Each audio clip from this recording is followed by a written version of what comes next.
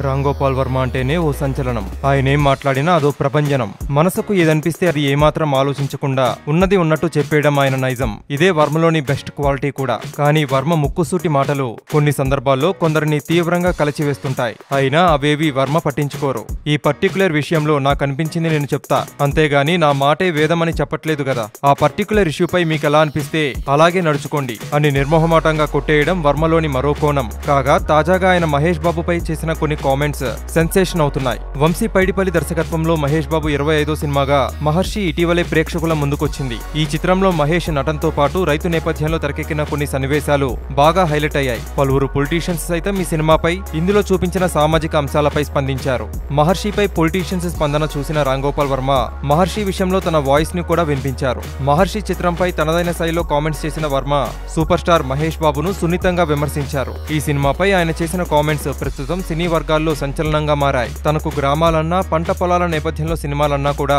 పెద్దగా ఇష్టం ఉండదని వర్మ పేర్కొన్నారు. అందుకే తాను రైతు నేపథ్యం వ్యవసాయ నేపథ్యం ఉన్న కథల్ని ఎంపిక చేసుకోనని అన్నారు. ప్రజలకు కూడా అలాంటి నేపథ్యం ఉన్న సినిమాలంటే పెద్దగా పట్టింపు ఉండదు.